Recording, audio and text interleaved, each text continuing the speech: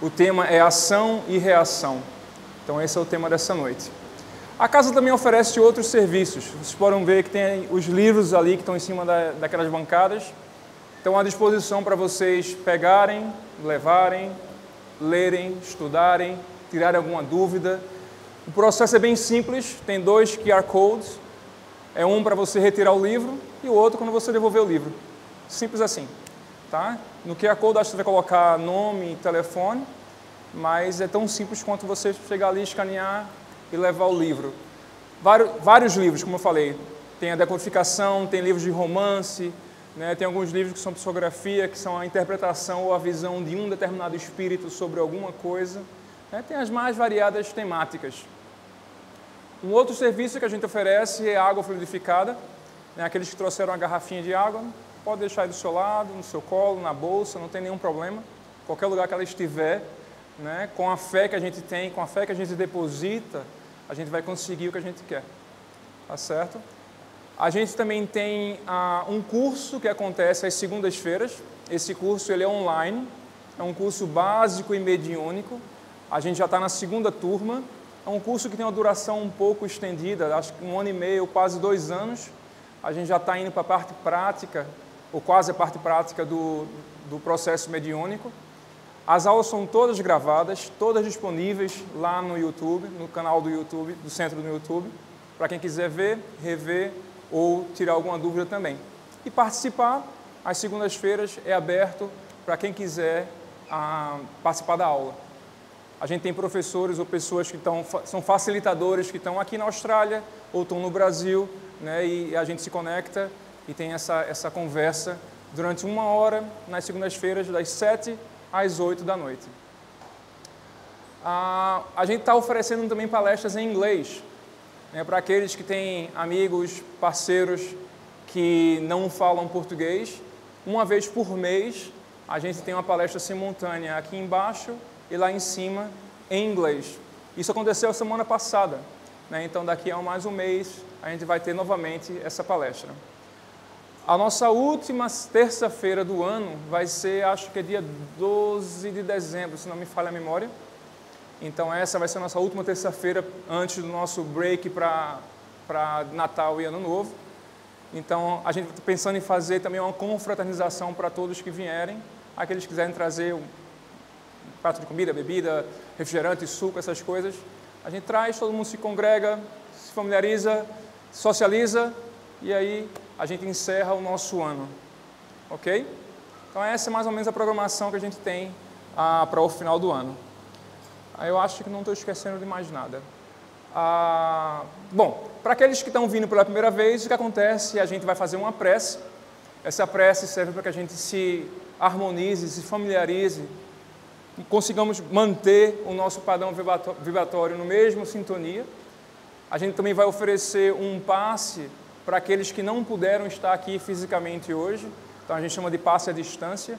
Né? Então, para aqueles que estão vendo através do Facebook, ou que vão ver essa palestra em qualquer momento ah, do dia ou da noite, quando tiverem a oportunidade de ver, também ter ou usufruir dessa troca de energia e de benefícios. Ok? Então, para aqueles que se sentirem confortáveis, podem fechar os olhos, não é obrigatório. Posicione-se apenas de uma maneira confortável, que vocês possam se harmonizar, começar a elevar o seu pensamento ao nosso Deus, que é Pai e Mãe, Criador de todo o universo, e começar agradecendo a Ele por essa oportunidade de estarmos aqui juntos, de podermos ir e vir sem nenhum tipo de restrição ou problema. Isso nos aquece o coração e a alma. Existem muitos neste momento que não têm essa liberdade ou essa possibilidade. Então agradecemos de todo o coração de podermos estar aqui, congregados e compartilhando esse amor e esse carinho, aprendendo cada vez mais e tentando sempre ser melhores hoje do que fomos ontem e melhores amanhã do que fomos hoje.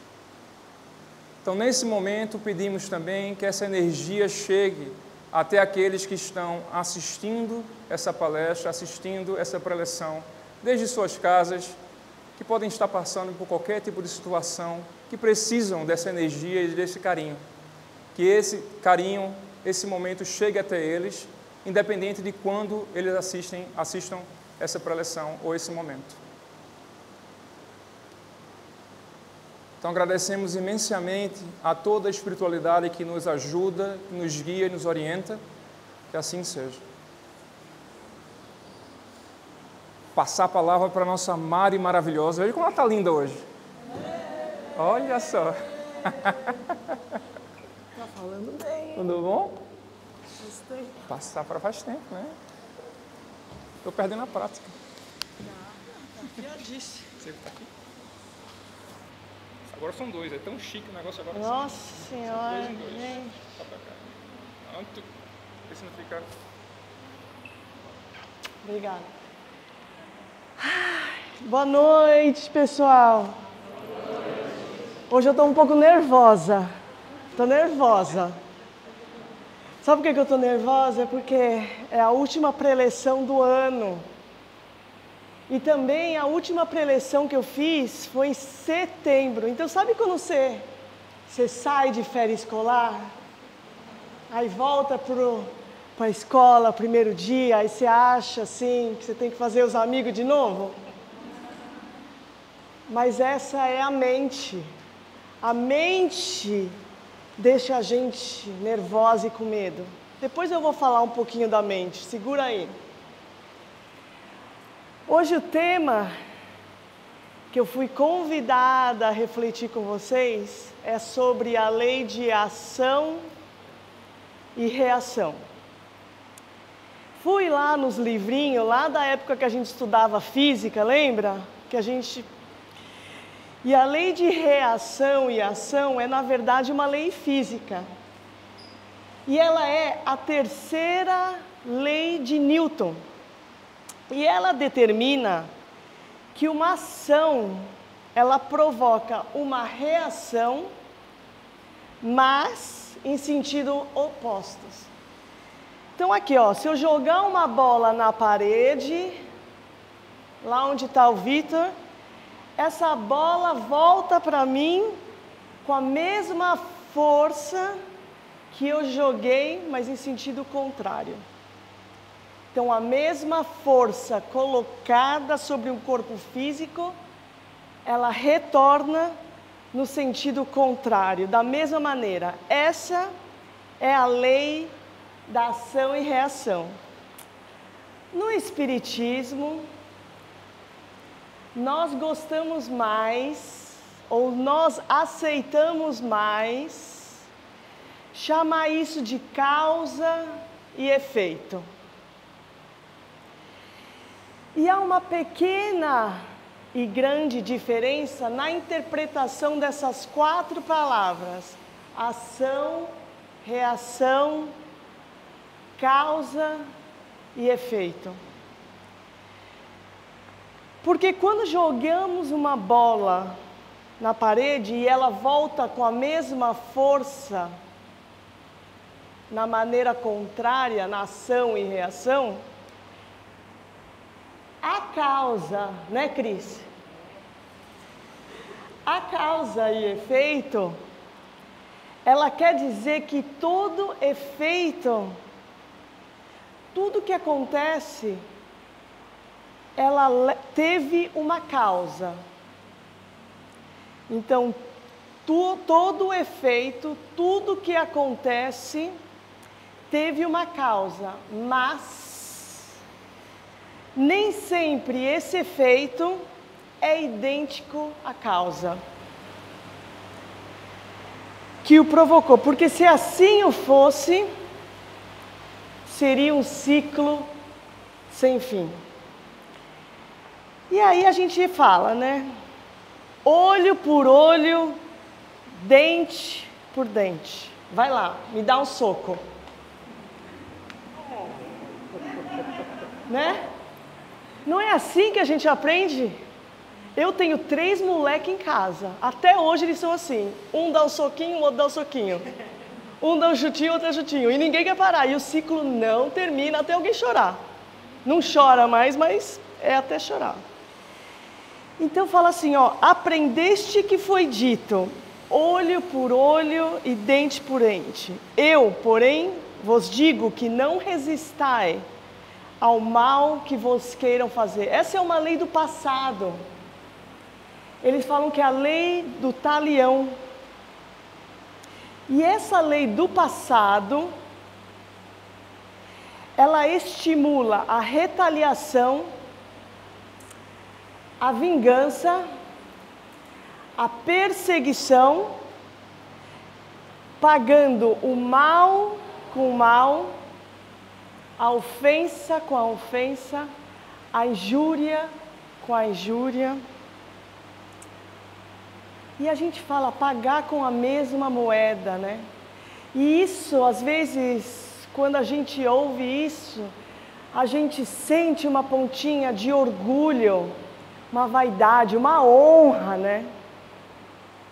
Dizendo que até uma coragem, pagar com a mesma moeda, olho por olho, dente por dente. E isso faz que a gente afasta uma certa covardia, orgulhosa dessa coragem. E no livro Ação e Reação, eu ainda não terminei o livro, mas eu sugiro vocês lerem, se vocês têm essa curiosidade desse estudo da ação e reação, ela está disponível em PDF e ela foi psicografada pelo Chico Xavier, ditado para o André Luiz. E esse livro, Ação e Reação, ela passa numa colônia que chama Mansão da Paz. Essa Mansão da Paz, o André Luiz passou três anos lá estudando e aprendendo com a espiritualidade, e ele pegou esses aprendizados e colocou nessa obra Ação e Reação. E lá conta, tem 20 capítulos, e ele conta histórias que espelham esse ação e reação. Essa mansão da paz, ela na verdade, ela está situada fisicamente num mosteiro que chama São Bernardo, que fica entre a divisa de Itália e Suíça.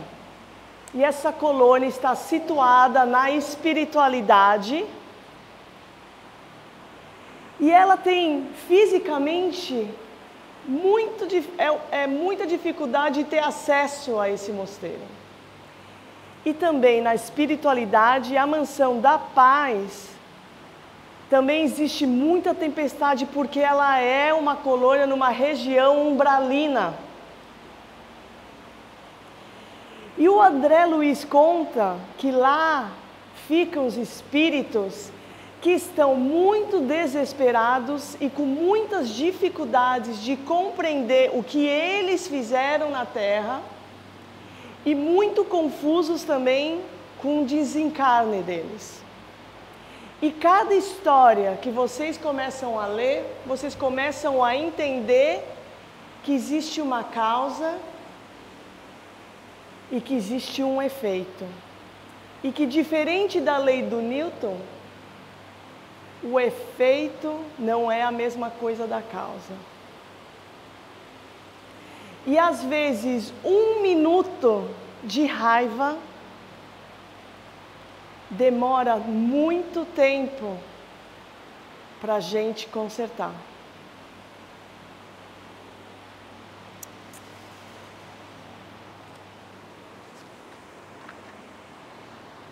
No livro dos Espíritos, ele também aborda esse tema, só que eles chamam de justiça divina, que é aquela que diz o seguinte: tudo que fazemos tem uma consequência, não há nada que façamos que pensemos que não tenha uma consequência, mas a consequência pode ser moldada pelo que também fazemos logo depois daquilo.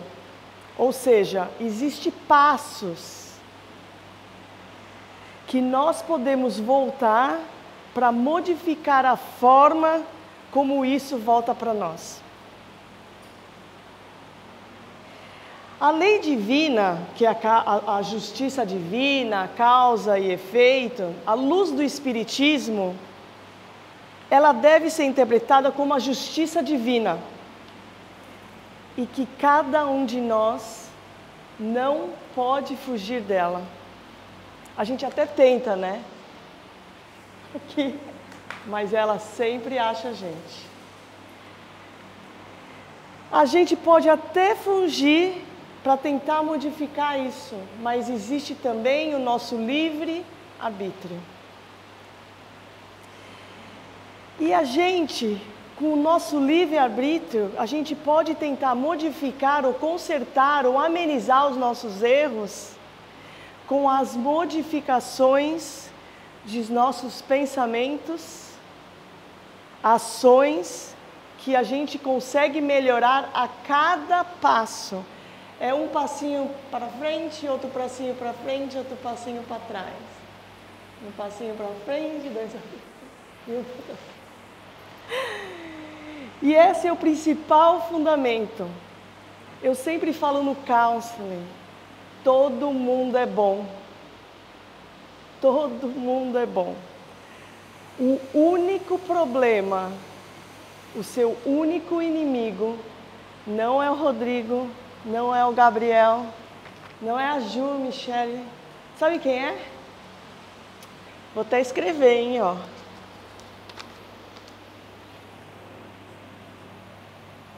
A nossa mente. No counseling é muito claro, porque se nós sabemos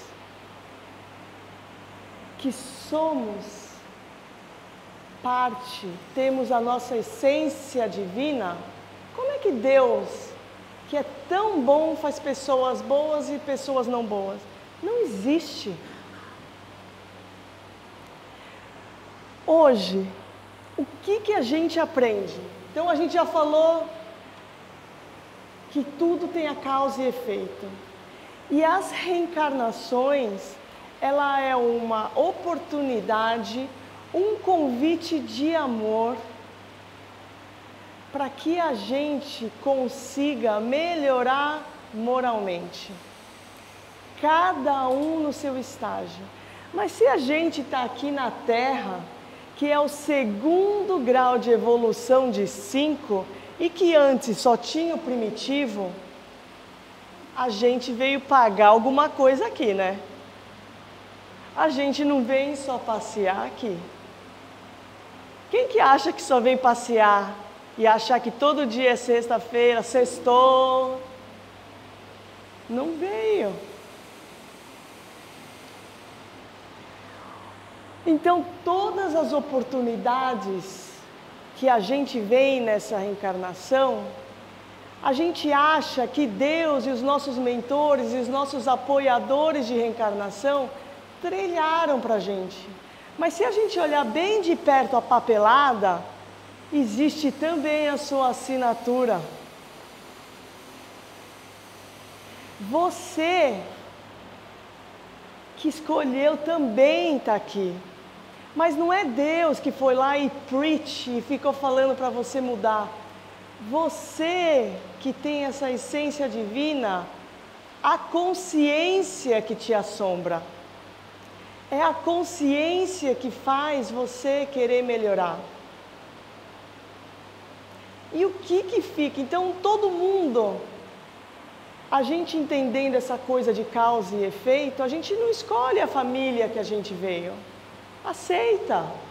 Não adianta ficar lá cavocando, fazendo regressão para saber por que, que a gente tem o namorado que a gente tem hoje. Porque ele está errado, eu não tenho problema nenhum. A minha flatmate que é o problema. Não, eu devo ter feito alguma coisa lá quando eu era Cleópatra, porque todo mundo foi Cleópatra né? Mas o problema nunca sou eu. Eu sei exatamente a expiação do Rodrigo, mas o meu, nossa, Deus, como é que eu, que, que eu fiz para merecer isso? Aceita. A gente tem, olha, eu, eu vejo a morte de perto, a morte física. Se é com 80, 70, 60, 50, não importa. mas existe o nascimento e existe o desencarne físico. Alguém tem dúvida disso? Só que a gente vive, inclusive eu fiz 50 anos, gente. Parece que a gente vive ainda como se sempre vai existir o amanhã. Quem garante isso? Vocês podem até na sua família ter encarnado numa certa ordem, mas eu não garanto que vocês vão desencarnar na mesma ordem. E o que, que acontece? Quando a gente chega aqui, eu garanto para vocês que vocês vão olhar daqui para lá, vocês não vão mais se preocupar com o futuro. Vocês vão olhar daqui para lá e vão falar: como é que foi minha vida? Que mal que eu fiz para os outros. Porque aqui você quer uma coisa: é paz no coração. E além do mal, sabe o que a sua consciência aqui fala? Eu não fiz mal a ninguém. E se eu fiz, eu já corrigi. Mas eu poderia ter feito melhor o bem. Tá. Então, ninguém está aqui hoje, né? Eu não prometo amanhã. Mas ninguém está aqui hoje. E eu sou convidada muito a ir em funeral. Eu tenho até roupinha já. Eu gosto de roupinha alegre. E eu acho incrível. Eu acho que se todo mundo, até falei para os meus filhos, eu fiz quando eu fiz 50 anos, eu escrevi para eles 50 coisas que eu gostaria de deixar para eles de ensinamento. E uma delas eu falei: nunca deixe de ir no funeral. E se a gente conseguisse ir no funeral uma vez por mês, a sua vida seria outra. Porque quando você vai no funeral, você valoriza a vida, você aprende com a dor dos outros e você escuta, principalmente aqui na Austrália, as pessoas se levantam e falam coisas boas de você. E aí você começa a questionar que eu estou aqui o que, que eu quero ouvir naquele dia.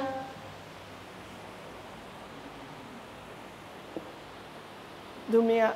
É como vocês todos estão aqui na Austrália, quanto tempo antes da viagem vocês começaram a se preparar? Não foi um dia para a noite. Começa a ver o weather, ver o que precisa, pra, né? E aí começa aí. Só que acontece que as pessoas chegam às vezes aqui e ficam desesperados que o dia chegou e nunca parou para pensar no assunto. Não quero dizer que você tem que só pensar nesse assunto, mas esse dia é muito importante. Porque o que você quer que as pessoas falem aqui de você, você tem que começar logo. Você quer que ela fale lá que você olho por olho, dente por dente? Não. Aí tá, eu tenho sete minutos. Eu adoro a doutrina espírita porque ela é muito consoladora. Porém, o arrependimento do, do que vocês já fizeram de mal, porque eu acredito que vocês fizeram mal, entendeu? E eu acho que talvez a gente não tenha, mais, não tenha matado nessa vida, mas eu garanto que a gente já matou em outras. Entendeu?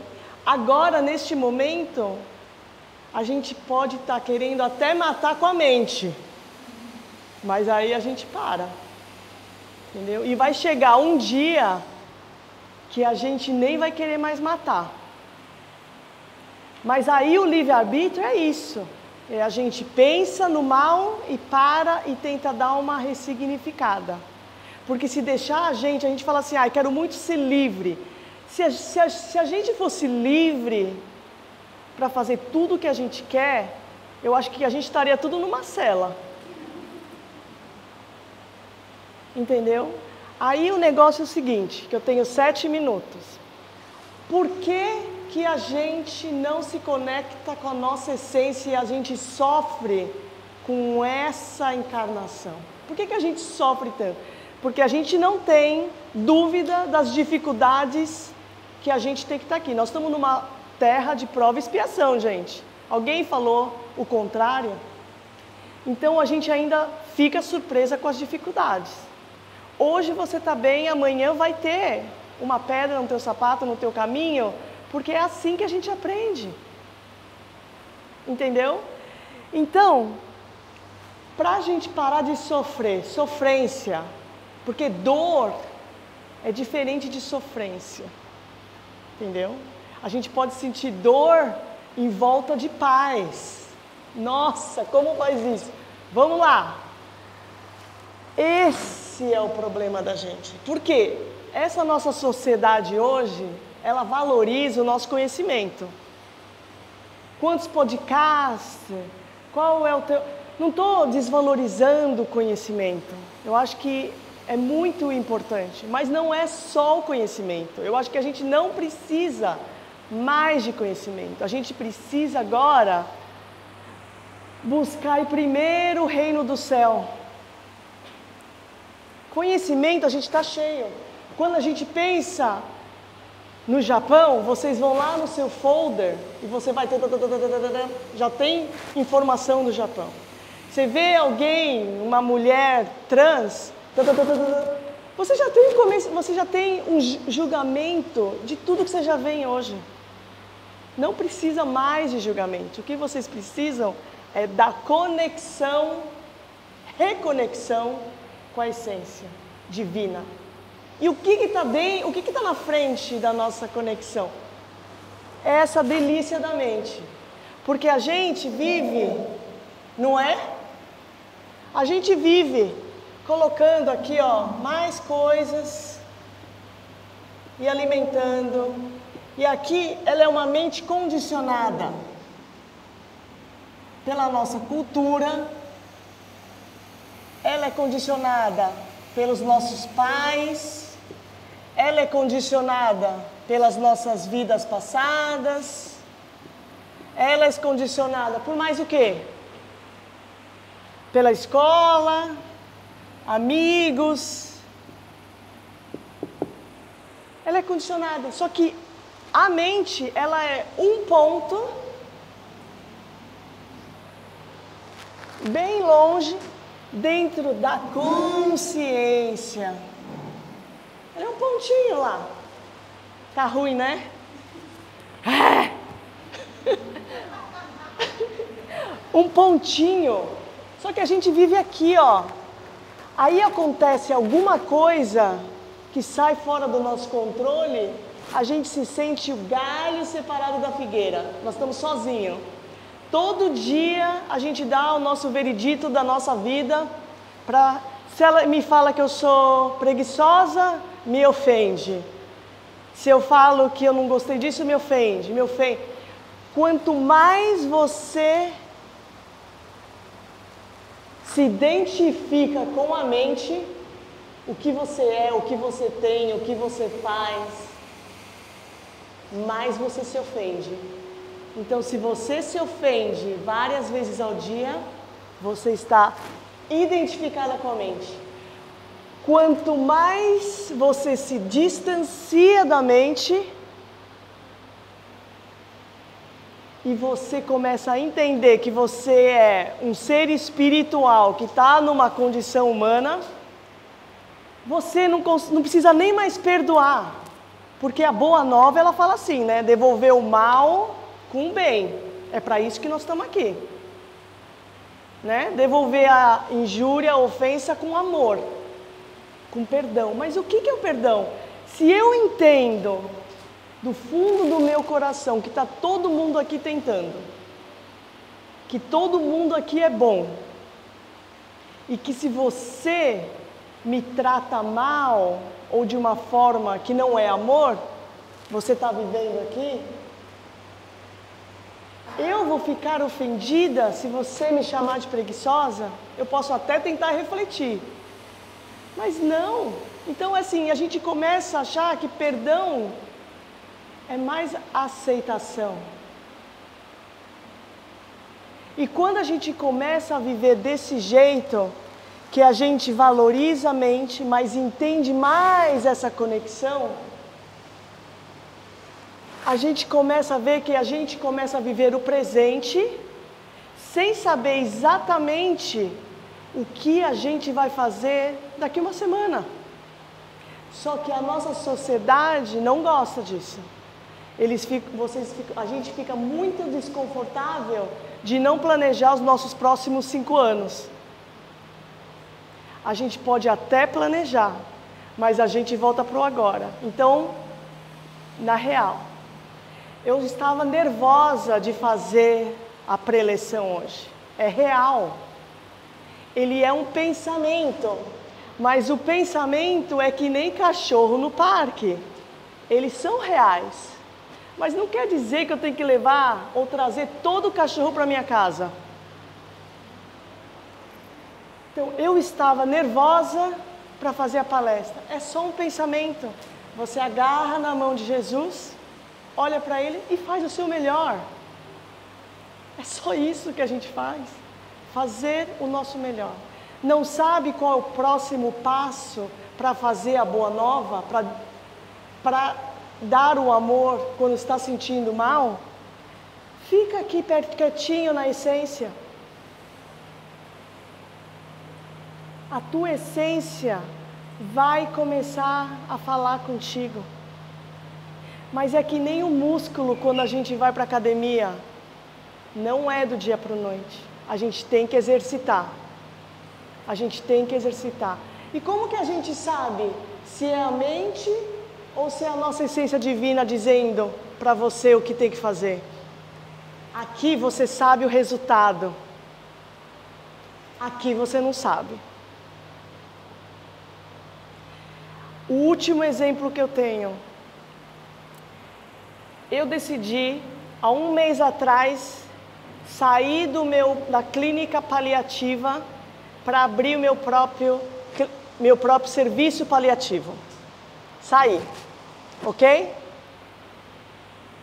Fiquei na, na, na, clínica bariátrica. Gente, a clínica bariátrica, perto do paliativo, é muito fácil. E eu faço bem para os outros, eu sei disso. Porque as pessoas não estão lá para perder 10 quilos, estão para perder 40, 50, 60 quilos. Estou fazendo bem, mas eu estou me sentindo confortável. Então a mente aqui, ó, estou confortável, estou fazendo bem, estou confortável. Mas dentro do meu corpo tinha uma coceira. Volta e eu, mas ficou. Eu acabei recebendo um contrato para fazer counseling paliativo imprimi o contrato para 16 páginas. E eu aqui, com medo, que nem essa palestra, deixei esse contrato durante três semanas na minha bolsa, porque eu estava adiando, estou confortável. Mas você sabe que tem alguma coisa que não está confortável. Até que uma semana, a semana passada, eu falei: Deus, eu vou resolver isso. Me manda um sinal o que, que eu tenho que fazer?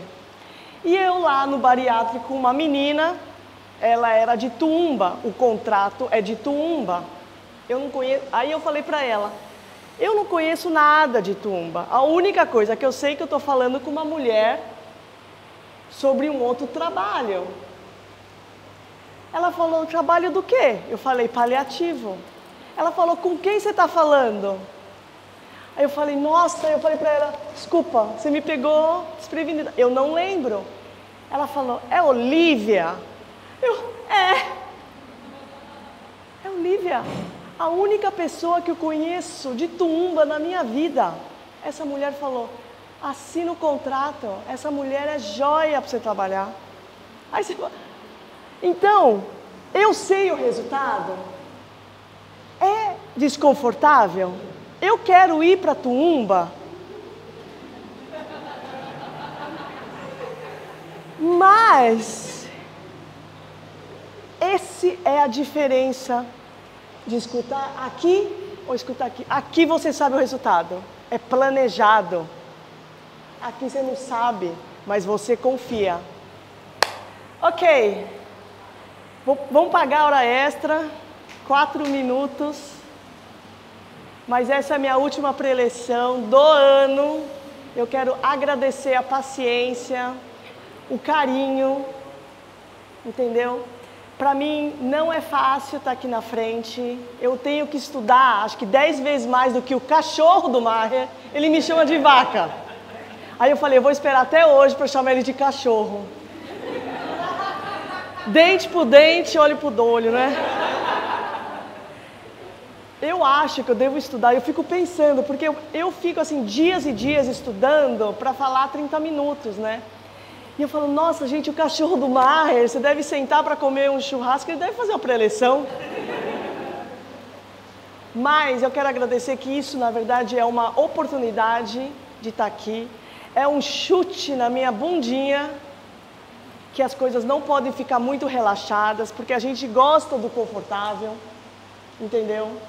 Se vocês tiverem a oportunidade de fazer uma caridade voluntária, gente, eu vou te falar, é a receita de se reconectar com isso, porque a gente veio aqui para pagar as contas, mas ao mesmo tempo a gente também veio para se divertir. Não precisa ser uma coisa dura, entendeu? Pode ser uma coisa leve, pode ser com amor, pode ser diversão.